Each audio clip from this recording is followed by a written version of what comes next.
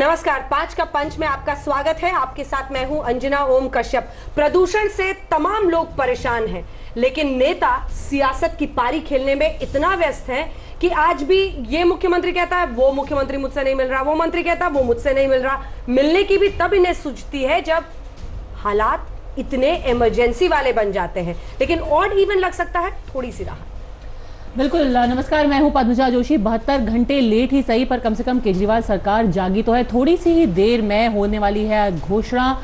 Odd even की दोबारा, यानी कि फ़ेज़ थ्री का ऑड इवन वापस आ सकता है। पर क्या इससे जो पूरी प्रॉब्लम है, वो सुलझ जाएगी? दिखाएँगे आपको हकीकत। नमस्कार, मैं हूँ नेहा बाथम दिल्ली में स्मॉग पर ज़बरदस्त सियासत चल रही है, क्योंकि केजरीवाल सरकार ये कह रही है कि तमाम दूसरी सरकारें उन्हें सहयोग नहीं कर रही, लेकिन खुद उनके ही मंत्री विपक्ष पंजाब में पराली जला रहे हैं। नमस्कार गुड इवनिंग आपके साथ मैं हूँ मीनाक्षी गंडवाल। स्मॉक को लेकर ये तमाम बातें होंगी, लेकिन इन सब के बीच निवारण क्या है, इसकी एक झलक आपको हम चीन से भी दिखाएँगे, क्योंकि चीन के पास भी हालात कुछ ऐसे ही थे, लेकिन इन हालातों में कैसे उन्होंने दिखाया एक्शन और स्मॉग से पाई राहत, ये होगा बुलेटिन में आगे। नमस्कार, मैं हूँ प्रीति चौधरी और इसके बीच में हम आपको दिखाएँगे झलकियाँ साहित्य के सबसे बड़े महामंच से। कल शुरू हो रहा है आज तक पे साहित्य आज तक। तो साहित्य आज तक के बारे में प्रीति ने आपको बता दिया है। साहित्य आज तक की बातें करेंगे और याद रखिए कल से ये शुरू हो रहा है 10, 11, 12 नवंबर। लेकिन बड़ी खबर का रुख करते हैं क्योंकि इससे पता नहीं कितनी राहत मिल पाएगी लेकिन एक कदम ज़रूर है प्रदूषण से निपटने के लिए जो कदम सरकार उठा रही है। दिल्ली में सोमवार से ऑड इवन योजना को लागू किया जा सकता है। दिल्ली सरकार के ट्रांसपोर्ट मंत्री कैलाश गहलोत ने बताया कि योजना सोमवार यानी तेरह नवंबर से शुरू होगी तो ऐलान कर दिया गया है। पाँच दिन तक ये योजना चलेगी। ट्रैफ़िक में कमी आएगी और प्रदूषण पर कुछ कंट्रोल किया जा सकेगा।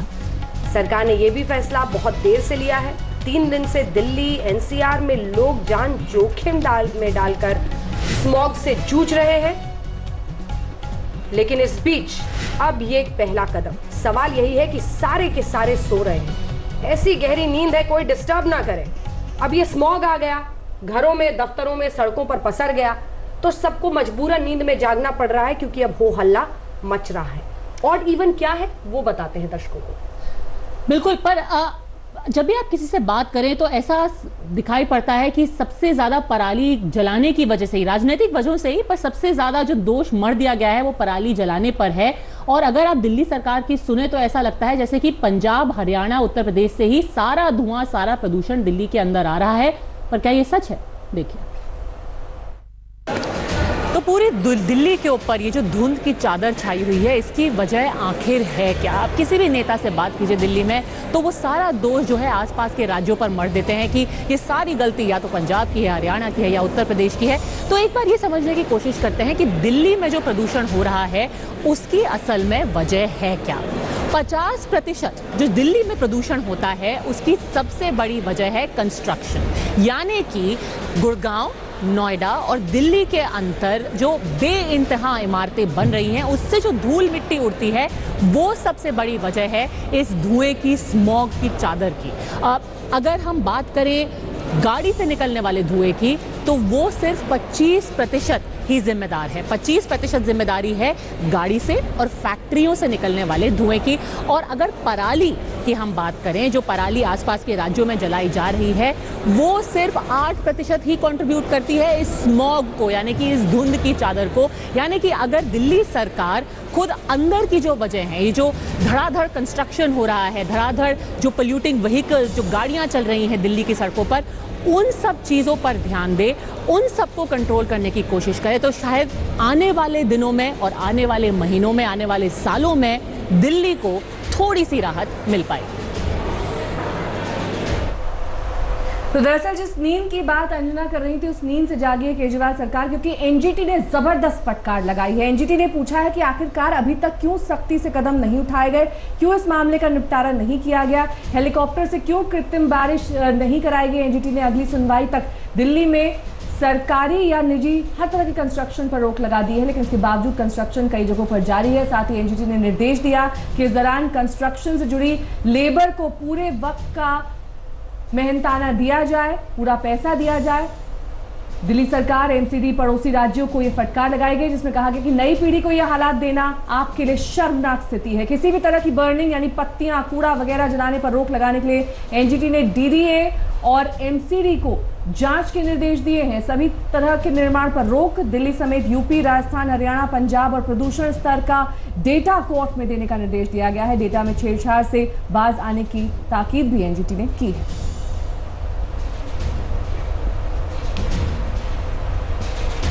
तो आपको बता दें कि इसके बावजूद कोर्ट ने ये आदेश भी दिए थे कि आज सभी स्कूलों को बंद रखा जाए, लेकिन नोएडा में देखा गया कि कई स्कूल खुले थे और उन्होंने दलील ये दी कि काफ़ी देर से ये ऑर्डर आया था, जिसकी वजह से आज स्कूल बंद नहीं किए गए।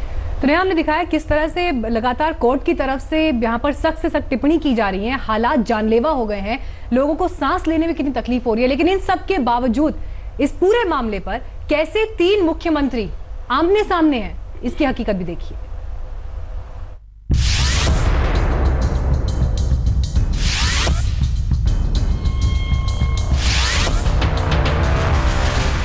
आ, सारी उत्तर भारत की आ, हालत बहुत ज़्यादा खराब है।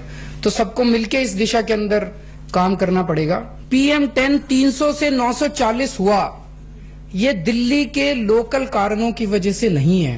तो जब तक क्रॉप बर्निंग का समाधान नहीं निकाला जाए, इस समस्या का तब तक नहीं हो सकता। सुन लिया।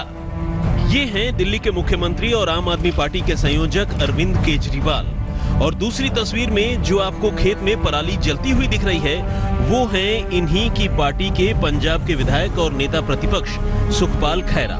विडंबना देखिए, एक ही पार्टी के दो चरित्र। संयोजक कहता है कि पड़ोसी राज्यों की खेत की आग ने दिल्ली का दम घोट रखा है और दूसरी ओर, उन्हीं की पार्टी का विधायक खुलेआम कोर्ट के आदेश की धज्जियाँ उड़ाता हुआ अपने संयोजक की अपील भी ठुकरा रहा है। और अब सुनिए जो केजरीवाल खुद दूसरी सरकारों पर धुएँ का ठीकरा फोड़ रहे हैं, वो कैसे अपने विधायक का बचाव कर रहे हैं। केवल विरोध जताने के लिए खैरा ने ऐसा किया है। केवल विरोध जताने के लिए विरोध का तरीका गलत है। इसे कहते हैं राजनीति जो आपकी ज़िंदगी नहीं, सिर्फ़ कुर्सी देखती है। इस दोहरे खेल के बाद देखिए, बीजेपी का खेल, सुनिए, मुख्यमंत्री हरियाणा के बोल। शर्म का विषय है और हम लोगों ने अपने हरियाणा में जो जो कुछ हो सकता है वो सब किया है। पराली जलाने वालों को हमने आग्रह भी किया है, वो रोकें, हमने इम्प्लीमेंट्स इसी प्रकार के लोग खरीदें जिसके अंदर पराली को इकट्ठा करके उसका अन्य उपयोग करें, जलाएँ नहीं ताकि प्रदूषण रोका जा सके।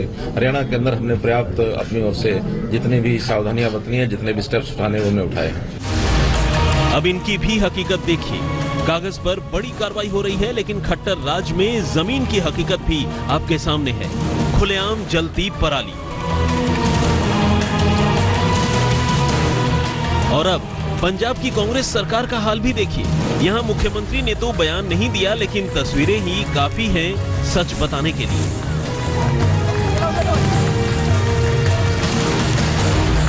ये तस्वीरें तमाचा हैं उस राजनीति पर जो कैमरे के सामने चिंता दिखाती है। और कैमरा बंद होते ही चिंता को चिता समान मानकर भूल जाती है। जब तक वहाँ की सरकारें इसका इकोनॉमिक वायबल ऑल्टरनेटिव नहीं निकालेंगी, तब तक ये हर साल हम लोग फेस करेंगे। इसीलिए मैंने दोनों राज्यों के माननीय मुख्यमंत्रियों से मिलने का टाइम मांगा था। मैं ये नहीं कह रहा, मुझे नहीं पता वहाँ की क्या समस्या है। मुझे नहीं पता कि इसका क्या टेक्निकल समाधान है, इसका क्या इकोनॉमिक समाधान है, मैं नहीं जानता। ये बयान ही बताता है कि आपके नेता आपकी सांस के लिए कितनी चिंता करते हैं। वैसे केजरीवाल जी पर भी सवाल उठता है कि आखिर जब स्मॉग आ गया, तब क्यों इसकी याद आई? उस वक्त क्यों नहीं ये कोशिश हुई जब मौसम विभाग ने कोहरे की चेतावनी कई दिन पहले ही दे दी थी? चंडीगढ़ से मंजीत सहगल के साथ आज तक ब्यूरो। सवाल यह है कि एनजीडी के आदेशों को खुलेआम उसका उल्लंघन करने के लिए आपके विधायक पर कानूनी कार्रवाई क्यों नहीं होनी चाहिए? इनको ये मज़ाक दिख रहा है, खिलवाड़ दिख रहा है। केजरीवाल साहब तो चले जाते हैं बीच बीच में विपक्षना करने के लिए। आम आदमी कहा जाए नौकरी छोड़कर? सवाल ये भी है, जैसे कि पद्मजा ने अपनी रिपोर्ट में दिखाया था कि सिर्फ़ पराली जलाना ही इसका कारण नहीं है, और भी बहुत सारे कारण और जब ये तीन दिन पहले हमने शुरुआत इसकी देखी थी, उससे पहले भी प्रदूषण के स्तर दिल्ली में काफ़ी ज़्यादा रहे हैं। और इसी वजह से पिछली बार भी ऑड इवन लाया गया था। अब की बार नहीं कंस्ट्रक्शन वाले काम पे आप रोक क्यों नहीं लगा रहे जबकि कोर्ट का आदेश है ये उसके बावजूद भी इस पर कोई एक्शन नहीं होता। पिछले तीन चार साल की अगर हम बात करें ये स्थिति हम अक्टूबर नवंबर में देख रहे हैं। ये तस्वीरें देख रहे हैं आप प्रीति। ये एक एक करके तमाम मंत्रियों का हम सूरत हाल दिखा रहे हैं। केंद्रीय स्वास्थ्य मंत्री हिमाचल प्रदेश के चुनाव प्रचार में बिज़ी अगला मंत्री। एक एक करके इनकी ज़िम्मेदारी है कि अगर हेल्थ इमरजेंसी जैसी परिस्थिति दिल्ली में है तो डॉक्टर हर्षवर्धन जो कि पर्यावरण मंत्री हैं वो तो थे ही नहीं देश में। इनफैक्ट केजरीवाल ने बोला भी लौटे अभी गोवा गोवा चले गए। और अब शायद कल तक वो दिल्ली आएँगे। पर लोकल ये मंत्रियों को छोड़िए जो लोकल बॉडीज हैं वो क्या कर रही हैं? तीन दिन तक दिल्ली स्मॉग से जूझता रहा है। एनजी एनजीटी ने फटकारा है और अब जाकर आखिरकार जो एनडीएमसी है, वो जागी है और कम से कम शुरू तो किया है, जो पौधे हैं, जो रोड के बिल्कुल बगल में पौधे होते हैं, उनको धोना शुरू किया है कि आखिरकार जो मिट्टी जमी है उन पे, वो धुल जाए, ऑक्सीजन फिर से अच्छे से बनना शुरू हो। ये रिपोर्ट देखिए मेरे संवाददाता हमारे संवाददाता जितेंद्र बहादुर की। प्रदूषण के चलते दिल्ली एनसीआर की आबो हवा इतनी खराब हो गई है कि एनडीएमसी ने इस वक्त आपको दिखाना चाहेंगे कि पेड़ों की धुलाई करना शुरू कर दिया है। दरअसल पिछले साल भी इसी तरीके से पेड़ों की धुलाई इसी महीनों में शुरू की गई थी, क्योंकि पेड़ में जो पत्तियाँ हैं, उस पर धूल जम जाती है और जिसकी वजह से ऑक्सीजन सही तरीके से पैदा नहीं हो पाती है और इसी की वजह से इस तरीके से धुलाई की जा रही है। साथ ही जो नीचे धूल वाला इलाका है, उस इलाके में भी पानी पेड़ों से गिरने के बाद नीचे जाता है और इस वजह से यहाँ की मिट्टी जम जाती है, ज़्यादा धूल नहीं उड़ती है। तो इस पोल्यूशन को कंट्रोल करने के लिए पूरी कोशिश एनडीएमसी की तरफ़ से की जा रही है। इस इलाके में पोल्यूशन बहुत ज़्यादा हो गया। आँखों में इसकी वजह से जलन हो रही है। लोग एक जगह से दूसरी जगह नहीं जा पा रहे हैं। एनडीएमसी ने अब सोचा है और अब पत्तियों की धुलाई की जा रही है, जिससे कि सफ़ाई हो सके और ऑक्सीजन ज़्यादा पैदा हो सके। दिल्ली से कैमरामैन आलोक भटनागर के साथ जितेंद्र सिंह आज तक। लेकिन ये हिंदुस्तान की हालत है। अब जाकर थोड़े से नींद से जाग रहे हैं क्योंकि मीडिया का इतना ज़्यादा दबाव है लगातार। हम आपको दिखाते हैं चीन। कैसे एक एग्ज़ाम्पल सेट कर दिया था चीन ने। ट्रंप वहाँ पर जाने वाले हैं और सिर्फ़ कुछ दिनों में पूरी तरह से खुला आसमान। करिश्मा नहीं है करना पड़ता है। किया। 8 नवंबर को जब ब्रिटेन के प्रिंस चार्ल्स राजधानी दिल्ली पहुँचे थे, उसी समय अमेरिकी राष्ट्रपति डोनाल्ड ट्रंप बीजिंग पहुँचे थे। लेकिन दोनों तस्वीरें, दोनों शहरों की हकीकत और सत्ता की सोच बता रही थी। दिल्ली की तरह बीजिंग भी स्मॉग से जूझ रहा था। मौसम विभाग ने 4 से 8 नवंबर तक का अलर्ट भी जारी कर दिया था। लेकिन अमेरिकी राष्ट्रपति ट्रंप के पहुँचने से पहले ही चीन ने पूरा आसमान साफ़ कर दिया। जबकि दिल्ली में ऐसा नहीं हो पाया। वीवीआईपी मेहमान ही नहीं, दिल्ली और एनसीआर में रहने वाले करोड़ों लोग पिछले तीन दिन से स्मॉग के जानलेवा खतरे से जूझ रहे हैं। लेकिन चीन ने हालात पर काबू पाने के लिए एडी चोटी का ज़ोर लगाया और दिल्ली में सिर्फ़ सियासत होती रही। देखिए अब स्मॉग की एक बड़ी वजह, धूल और धुआँ। बीजिंग ने एंटी स्मॉग गन से पानी की बौछार की, लेकिन दिल्ली में हेलीकॉप्टर से छिड़काव की योजना ही बनती रही, काम अब तक नहीं हुआ। ठीक इसी तरह स्मॉग रोकने का दूसरा तरीका हो सकता है वाहनों पर रोक। बीजिंग ने प्रदूषण फैलाने वाली गाड़ियों पर रोक लगाई, पब्लिक ट्रांसपोर्ट को बढ़ावा दिया, लेकिन दिल्ली में तीन दिन बाद हुई ट्रकों की एंट्री बैन। ऑड इवन पर बात तो हुई, फैसला नहीं हुआ। स्मॉग की एक वजह निर्माण कार्य भी है। बीजिंग में 2000 कंस्ट्रक्शन साइट की पहले से ही जाँच चल रही है। धूल रोकने के उपाय किए गए। जबकि दिल्ली में स्मॉग के लिए 50 प्रतिशत निर्माण की धूल जिम्मेदार है। डिमोलिशन पर तीन दिन बाद रोक लगी है। बीजिंग सीमेंट, कोयला, स्टील का प्रोडक्शन पहले ही रोक चुकी है। जबकि दिल्ली एनसीआर में तीस हज़ार फैक्ट्रियाँ हैं।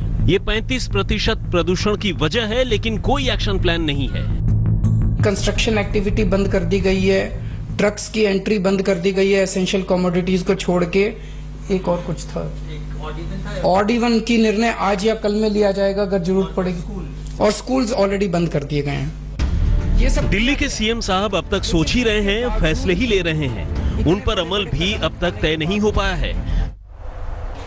बीजिंग जैसी कृत्रिम बरसात करने की बात करी जा रही है, लेकिन शायद हम बीजिंग से अभी बहुत पीछे हैं, क्योंकि यहाँ पर अभी ये सिर्फ़ एक सोच ही है। बीजिंग ने इसे करके दिखा दिया है। कब हम यहाँ पर इस सोच को अमली जामा पहना पाएँगे, ये देखना होगा, क्योंकि अभी सरकारें ही आपस में जूझ रही हैं। लेकिन किस तरह से हेलीकॉप्टर से कृत्रिम बरसात की जाती है, बता रही है मेरी सहयोगी श्वेता सिंह।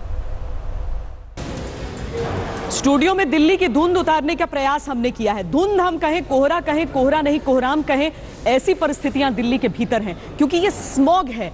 हर तरफ़, अपने चारों तरफ़ आपको ऐसा लगेगा कि आपको ना तो कुछ साफ़ साफ़ दिख रहा है। पता नहीं, आँखों में कुछ दिक्कत है, तब तक आँखों में जलन शुरू हो जाती है। सांस लेने में तकलीफ़ शुरू हो जाती है। कई दफ़ा सर दर्द, गंभीर बीमारियाँ, इतनी ज़्यादा मुश्किलें कि अब ये देखना है कि किया क्या जा सकता है। दिल्ली की सरकार की तरफ़ से जो एक गुजारिश की गई है, उसकी भी हम तस्वीर आपको दिखाते हैं। उसका दरअसल हम एक एनिमेशन आपको दिखाते हैं, जिसके ज़रिए आप ये समझ सकते हैं कि क्या फरमाइश की जा रही है। बताया जा रहा है कि कहा जा रहा है, मांग की जा रही है कि हेलीकॉप्टर के ज़रिए वाटर स्प्रे किया जाए। तो आसमान से उड़ता हुआ हेलीकॉप्टर आए और उसके बाद पानी की बौछार छोड़ दे, जिससे जो स्मॉग है, वो सेटल कर जाए, वो नीचे दब जाए, धरती में चला जाए। लेकिन इसकी भी अपनी दिक्कतें हैं। ये आपको देखकर लगेगा, पानी गिर रहा है और उसके बाद धीरे धीरे जो पूरा धुंध है, वो छट जा रहा है। देखिए, बिल्कुल साफ़ हो गया। कमोवेश, ऐसी ही, ऐसा ही असर होगा अगर हेलीकॉप्टर के ज़रिए ऐसा एयर स्प्रे, वाटर स्प्रे किया जाएगा आसमान से, हवाओं से। दशक से ज़्यादा तक आपने आज तक को भरपूर प्यार दिया है नंबर वन बनाए रखा है। तो अब वक्त आ गया है कि आज तक भी आपको एक रिटर्न गिफ्ट इसीलिए हम लेकर के आपके लिए आए हैं। साहित्य आज तक, यानी कि तीन दिन जब एक ही मंच पर साहित्य जगत के, हिंदी जगत के सबसे बड़े नाम एक साथ होंगे। क्या कुछ आपको मिलेगा वहाँ पर? देखिए कुछ झलकिया।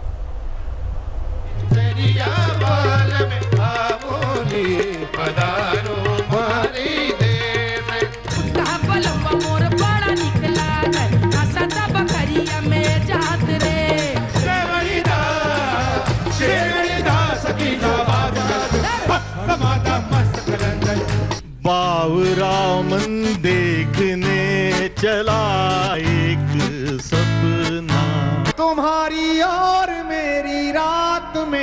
बस फ़र्क इतना है तुम्हारी सो के गुजरी है हमारी रो के गुजरी है।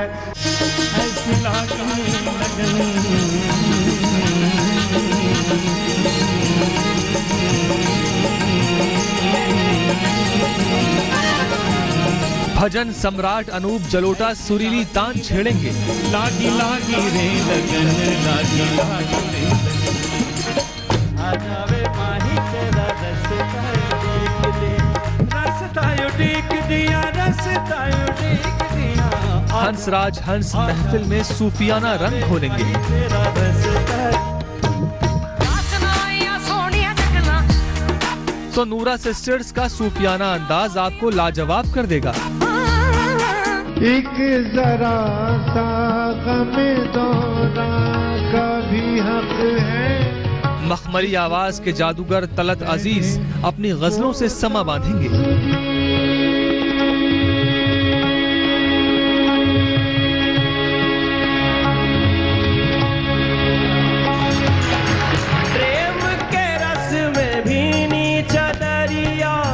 तो मनोज तिवारी भोजपुरी गीतों से महफिल लूटेंगे।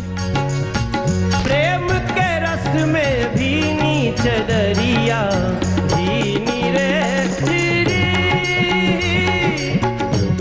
जी हाँ सुरों की दुनिया के तमाम सितारों के लिए महामंच सजाया है। सत्रह साल से देश के number one news channel Aaj Tak ने। साहित्य आज तक के महाकुंभ में आप गीत, संगीत और ग्लैमर की दुनिया के सितारों से रूबरू होंगे।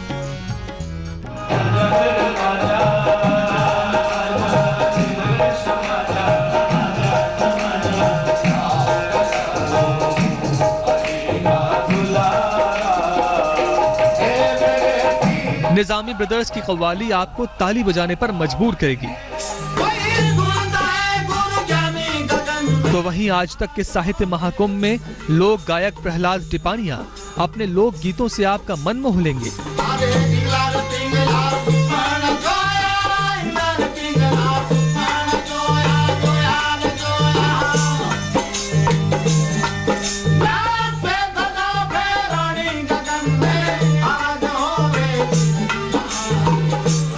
इसके साथ ही राजस्थान की मिट्टी की खुशबू अपने गीतों में समेटे मामे खान की तान पर आप झूम उठेंगे।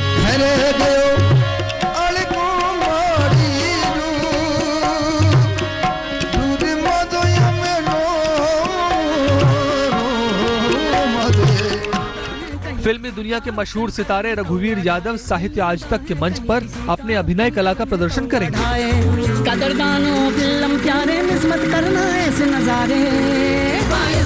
देखो देखी कुछ अनदेखी आँखों देखी तो बहुमुखी प्रतिभा के धनी अभिनेता पीयूष मिश्रा अपनी शानदार परफॉर्मेंस से आपको चौंकाएँगे। ये शहर ये बोलियो नींद गजब की ऐसी आई रे। अरे शहर ये बोलियो नींद गजब की ऐसी आई रे। जिस रात शहर में खून की बारिश आई रे। जिस रात शहर में खून की बारिश आई रे। तुम्हारी राह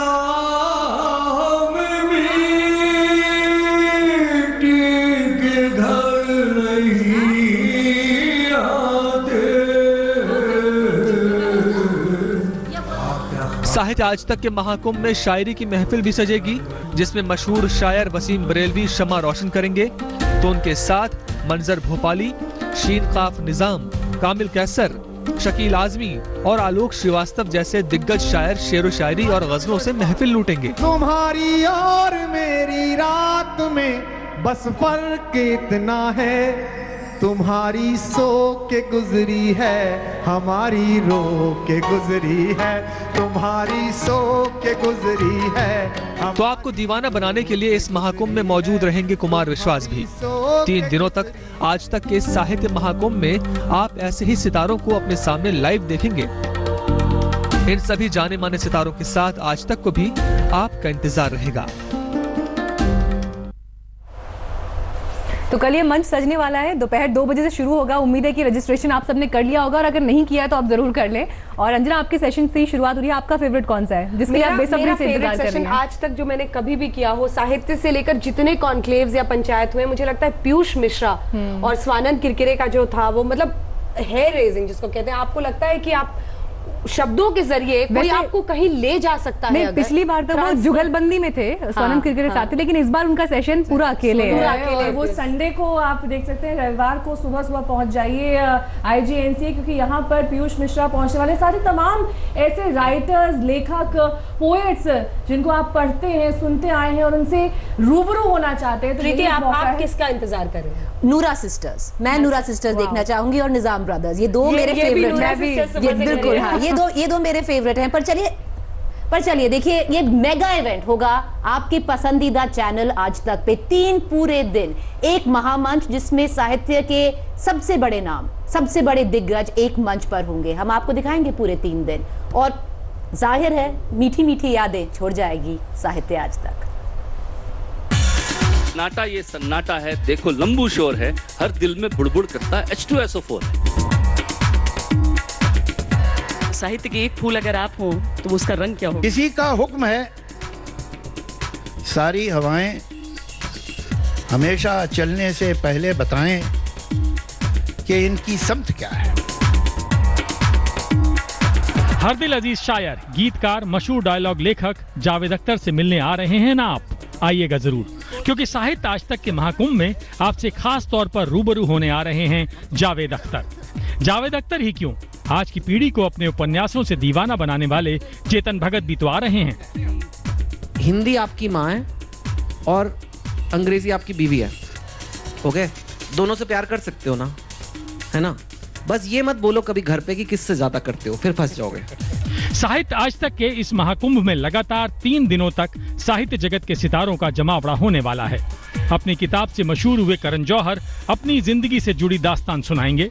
तो जिस नीलेश मिश्रा के किस्से रेडियो पर सुनकर आप दीवाने हो जाते हैं उनके सामने बैठकर कहानी सुनने का मौका आपको साहित्य आज तक दिलवा रहा है। बूंदों को धरती पर साज एक बजाने दे। हवाएँ कह रही हैं आजा झूले जरा। मशहूर गीतकार प्रसून जोशी अपनी कविताओं और गीतों से आपके दिल में सरगोशी करेंगे। तो कविता में प्रेम के रंग घोलने के लिए गीत चतुर्वेदी बद्री नारायण निधि नित्या और अनामिका भी इस मंच पर मौजूद होंगी। साहित्य जगत के दिग्गज कवि अशोक वाजपेयी, अलका सरावगी और मैनेजर पांडे आज के साहित्य पर चर्चा करेंगे। देश के प्रधानमंत्रियों पर किताब लिखने वाले संजय बारू, सागरिका घोष, विजय त्रिवेदी, उदय माहुरकर और राम बहादुर राय देश में अब तक के सबसे मज़बूत प्रधानमंत्री पर विमर्श करेंगे। आज के साहित्य की दास्तान लेकर लेखक और कवि जतेंद्र मिश्रा, नदीम हसनैन और राना सफ़ी भी आपसे रूबरू होंगी। तो लेखक और निर्देशक चंद्र प्रकाश द्विवेदी भी आज के साहित्य की भाषा पर चर्चा करेंगे। साहित्य आज तक के इस महाकुंभ में लेखक मयंक तिवारी और राइटर डायरेक्टर सैयद अफजल अहमद साहित्य और सिनेमा पर अपनी बात रखेंगे। व्यंग की दुनिया में आ रहे बदलाव पर चुटीली चर्चा करने के लिए आपके सामने मौजूद रहेंगे मशहूर व्यंग्यकार ज्ञान चतुर्वेदी, गौतम सान्याल और आलोक पुराणिक। आज के दौर के फिक्शन राइटर अनुजा चौहान, अश्विन सांघी और सुदीप नागरकर की चर्चा आपको फिक्शन राइटिंग की दुनिया में ले जाएगी। तो वहीं पौराणिक शास्त्रों पर नए अंदाज में लिखने वाले देवदत्त पटनायक भी इस महाकुंभ में आपसे रूबरू होंगे। हिंदी साहित्य जगत के बेस्ट सेलर लेखकों में शुमार गीतांजलि श्री गीता श्री के साथ रत्नेश्वर भी आपसे मिलने आ रहे हैं। तो साहित्य और राष्ट्रवाद पर चर्चा करने के लिए नेशनल बुक ट्रस्ट के अध्यक्ष बलदेव शर्मा होंगे। साहित्य आज तक के इस महाकुंभ में दिल्ली के पूर्व पुलिस कमिश्नर नीरज कुमार और लेखक एस हुसैन जैदी आपको अंडरवर्ल्ड की रोचक दास्तान सुनाएँगे। साहित्य आज तक के ये तीन दिन साहित्य के इंद्रधनुष की तरह होंगे, जिसमें आप साहित्य के अलग अलग रंग देखेंगे।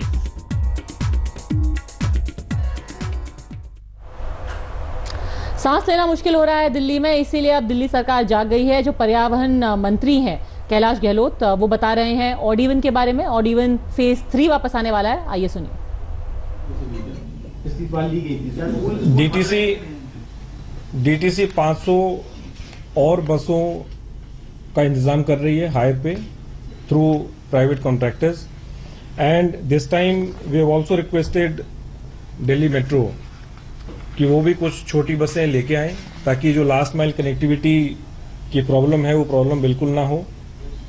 तो डीएमआरसी ने हमें प्रॉमिस किया है कि वो 100 छोटी बसें लेके आएँगी और ये छोटी बसें जो हैं वो 20 जो रूट्स हैं उन पे चलेंगी। सर तीन दिन बाद ये ये इतना बड़ा इतना बड़ा पैसा तीन दिन बाद लागू करना है। सीएनजी के स्टिकर्स पिछली बार बचे थे उसके साथ साथ मेट्रो की पार्किंग के रेट बहुत हाई है। मेट्रो का खुद का जो रेट किराया है वो बहुत ज़्यादा हाई है। ऐसे में क्या लोग पब्लिक ट्रांसपोर्ट का इस्तेमाल करेंगे और करेंगे? CNG इंतज़ाम कैसे रहेंगे? सीएनजी स्टिकर्स के बारे में जो पिछली बार परेशानी हुई और कुछ लोगों ने जो गलत स्टिकर्स यूज़ किए उसके बारे में आईजीएल को डायरेक्शन दिए गए हैं कि वो एक एक स्टिकर जो कार यूज़र को दिया जाएगा, उसका प्रॉपर रिकॉर्ड रखा जाएगा। आईजीएल हर एक डिस्ट्रिक्ट में we have 11 districts in Delhi हर एक डिस्ट्रिक्ट में दो स्टेशंस पर ये सीएनजी स्टिकर्स अवेलेबल होंगे। वी विल गिव दी जो सीएनजी स्टेशंस की लिस्ट है, ये हम आपको दे दी जाएँगे। तो टोटल टोटल 22 जो पहले लगे हैं, वो लागू होंगे। आईजीएल अपनी वेबसाइट पर जो स्टिकर्स दिए जाएँगे, उनको तुरंत हर शाम को अपडेट करेंगे। अगर एनफोर्समेंट एजेंसीज को वो स्टिकर की ऑथेंटिसिटी पे कोई डाउट होता है they can go on the website and check from there otherwise traffic police can get in touch with IGL and they can verify कि ये स्टिकर सही है या गलत है। ये स्टिकर कब से दिए जाएँगे sir question sir you said that the pollution level in the last 48 hours cross the prescribe limits can you tell us how much it cross because and how much I mean what what is the average for the past 2 days 48 hours last data we have PM 2.5 was around and last 50 आवर्स से वो 300 cross कर चुका है और PM 10 latest data we have is around साढ़े आठ सौ नौ सौ के आसपास PM 10 है एंड लास्ट 49 आवर्स 500 जो उसका प्रिस्क्राइब्ड क्राइटेरिया है वो क्रॉस कर चुका